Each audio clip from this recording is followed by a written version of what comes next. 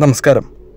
കായംകുളം രാജ്യം പിടിച്ചടക്കണമെന്ന ഉദ്ദേശത്തോടു കൂടി രാമയ്യൻ ദളവ തിരുവിതാംകൂർ മഹാരാജാവിന്റെ ചാരത്വം സ്വീകരിച്ചുകൊണ്ട് ഒരിക്കൽ വേഷം മാറി കായംകുളത്ത് ചെന്നു. ഗൂഢമായി അവിടത്തെ സ്ഥിതിഗതികൾ അന്വേഷിച്ചപ്പോൾ രാജ്യവും വംശവും നശിക്കത്തക്ക വണ്ണമുള്ള ചില ദുർനടപ്പുകൾ രാജാവിനുള്ളതായി ദളവയ്ക്ക് അറിവ് കിട്ടി. എങ്കിലും അവിടെ ഐശ്വര്യം നാൾക്ക് നാൾ വർദ്ധിക്കുന്നത് കണ്ട് ആശ്ചര്യത്തോടെ അതിന്റെ കാരണം എന്താണ് എന്ന് അദ്ദേഹം വീണ്ടും അന്വേഷിച്ചു. അപ്പോൾ ആ രാജാവിന്റെ തേവാരപുരിയിൽ ഒരു ശ്രീചക്രം ഇരിക്കുന്നുണ്ടെന്നും അത് സർവലക്ഷണങ്ങളും ഒത്തതാണ് എന്നും അതിന്റെ പൂജ പ്രതിദിനം അവിടെ ശരിയായി നടന്നു വരുന്നുണ്ടെന്നും അതവിടെ ഇരിക്കുന്ന കാലത്തോളം ആ രാജ്യത്തിനും രാജവംശത്തിനും ഐശ്വര്യ അഭിവൃദ്ധി അല്ലാതെ നാശം ഒരിക്കലും ഉണ്ടാകുന്നതല്ലെന്നും അദ്ദേഹത്തിന് മനസ്സിലായി.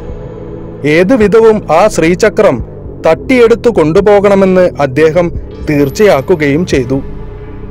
അനന്തരം ദളവ ഒരു ഭ്രാന്തന്റെ വേഷം ധരിച്ച് തേവാരപ്പുരയുടെ അടുക്കൽ ചെന്നുകൂടി.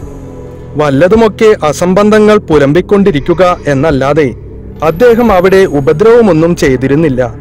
എന്ന് മാത്രവുമല്ല അതിരാവിലെ കുളിച്ച് ഭസ്മക്കുറിയിട്ട് പൂക്കൾ ഒരുക്കി കൊടുക്കുക. പൂജാപാത്രങ്ങൾ തേച്ചു കൊടുക്കുക. മുതലായ ചില ഉപകാരങ്ങളും ചെയ്തു പോന്നു. അങ്ങനെ കുറച്ചു ദിവസം കഴിഞ്ഞപ്പോൾ ഈ സാധു മനുഷ്യന് ഭ്രാന്തുണ്ടെങ്കിലും ഇയാൾ ഉപദ്രവിയല്ല എന്നൊരു വിശ്വാസം അവിടെ എല്ലാവർക്കും ഉണ്ടായിത്തീർന്നു. പൂജാരികൾ രാവിലെ കുളിച്ചു വന്ന് തലേ ദിവസം പൂജിച്ച പൂവ് വാരി പുറത്തേക്കിട്ടാൽ ഉടനെ ഈ ഭ്രാന്തൻ അതെല്ലാം വാരി വട്ടയിലാക്കി തലയിൽ വച്ചുകൊണ്ട് കോട്ടവാതിക്കൽ ചെന്ന് അവിടെ കാവൽ നിൽക്കുന്ന പട്ടാളക്കാരോട് ഇതാ ശ്രീചക്രം ഞാൻ കൊണ്ടുപോകുന്നു. വേണമെങ്കിൽ പിടിച്ചുകൊള്ളുവിൻ അല്ലെങ്കിൽ ഞാൻ കൊണ്ടുപോകും എന്ന് പറയും. ഇപ്രകാരം രാജാവിരിക്കുന്ന മാളികയുടെ ചുവട്ടിലും ചെന്ന് നിന്ന് ഇതാ ശ്രീചക്രം ഞാൻ കൊണ്ടുപോകുന്നു. ഇവിടത്തെ ചോറ് തിന്നുന്ന പട്ടാളക്കാർ നന്ദിയില്ലാത്തവരാണ്. അവരോട് ഞാൻ ഈ വിവരം പറഞ്ഞിട്ട് അവർ എന്നെ പിടിച്ചില്ല. അവിടെന്നും മൗനം അവലംബിച്ചു കൊണ്ടിരിക്കുകയാണെങ്കിൽ ശ്രീചക്രം പോകും ഇവിടം നശിക്കുകയും ചെയ്യും. പിന്നെ വിചാരിച്ചാൽ ഫലമൊന്നും ഉണ്ടാവില്ല എന്ന് വിളിച്ചു പറയും. ഇത് കേട്ട പട്ടാളക്കാരും രാജാവിന്റെ ആൾക്കാരും രണ്ടു മൂന്ന് ദിവസം ഭ്രാന്തന്റെ വട്ടി പരിശോധിച്ചു. അതിൽ പൂക്കളല്ലാതെ ഒന്നും കണ്ടില്ല. പിന്നെ അയാൾ വിളിച്ചു പറഞ്ഞാൽ ഓഹോ കൊണ്ടുപോയിക്കോളൂ. ഇവിടെ ആർക്കും ശ്രീചക്രം വേണ്ട എന്നെല്ലാവരും പറയുക പതിവായി. ഇങ്ങനെ ഏകദേശം ആറു മാസത്തോളം പതിവായി ചെയ്തതിനു ശേഷം ഒരു ദിവസം തേവാരപ്പുരയിൽ പൂജാരി ഇല്ലാതിരുന്ന തരം നോക്കി രാമയ്യൻ തളവ ശ്രീചക്രമെടുത്ത് വട്ടിയിലാക്കി അതിനുമീതെ പൂക്കളും വാരിയിട്ട് തലയിൽ വച്ചുകൊണ്ട് പതിവ് പോലെ കോട്ടവാതിലിലെത്തി പട്ടാളക്കാരെ വിളിച്ച് ഇതാ ഞാൻ ശ്രീചക്രം കൊണ്ടുപോകുന്നു. ഇത്രയും നാൾ പറഞ്ഞതുപോലെയല്ല. ഇന്ന് സത്യമായിട്ടും ശ്രീചക്രം എന്റെ വട്ടിയിലുണ്ട് എന്ന് പറഞ്ഞു. ഇയാൾ പതിവ് പോലെ ഭ്രാന്ത് പറയുകയാണെന്ന് വിചാരിച്ച് പട്ടാളക്കാർ ചിരിച്ചുകൊണ്ട് എന്നാൽ കൊണ്ടുപോയിക്കോളൂ എന്ന് പറഞ്ഞതല്ലാതെ രാമയ്യനെ പിടിക്കുന്നതിനോ വട്ടി പരിശോധിക്കുന്നതിനോ ചെന്നില്ല.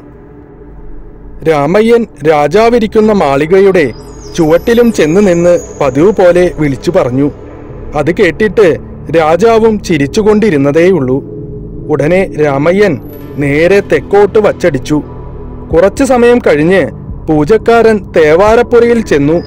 അവിടെ ശ്രീചക്രം കാണാത്തതിനാൽ പരിഭ്രമിച്ച് വിവരം ഗാട്ടു നിന്നിരുന്ന പട്ടാളക്കാരെ അറിയിച്ചു. അപ്പോഴേക്കും അവിടെ വലിയ ബഹളമായി. സംഗതി രാജാവ് വരെ എല്ലാവരും അറിഞ്ഞു.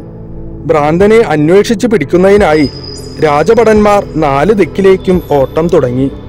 ഭ്രാന്തൻ വേഷം മാറി പമ്പ കടന്നതിനാൽ ഭടന്മാരെല്ലാം ഇച്ഛാഭംഗത്തോടുകൂടി മടങ്ങിപ്പോന്നു. ഭ്രാന്തനെ എങ്ങും കണ്ടില്ല എന്ന് രാജസന്നിധിയിൽ അറിയിച്ചു.